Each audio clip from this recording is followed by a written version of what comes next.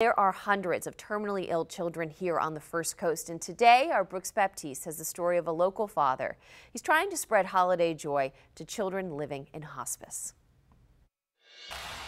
I gave her a kiss, and I walked to the door, and I turned.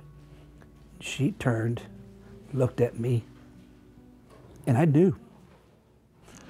Brendan Hoffman remembers that day back in August of 2009 when his daughter Dawn took her final breath.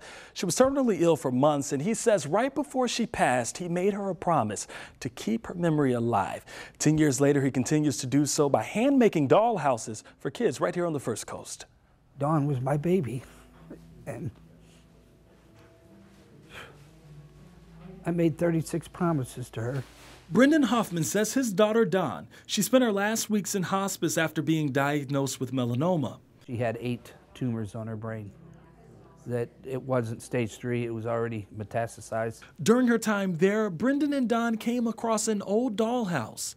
And, and she said, You need to replace that. I can't make one. I said, I made a dollhouse for you and your sister when you were little, and looked like a tornado hit it. He initially resisted the idea, but after finding out the number of terminally ill children in hospice care, he says he was blown away. So he birthed a project in Dawn's memory, creating doll houses for kids given six months or less to live. In September, I attempted to make a dollhouse. First three of them I threw away. Through the years, building the custom houses like this lighthouse, home, and this fire station, which are big enough for Barbie dolls, it's become his passion. And that's what it's about. That's what those are for. To put a smile on their face and get their mind off of their illness. But even through his own physical challenges, he's kept his promise. I've had three surgeries since July. But it's something that I don't want to let go of at this time.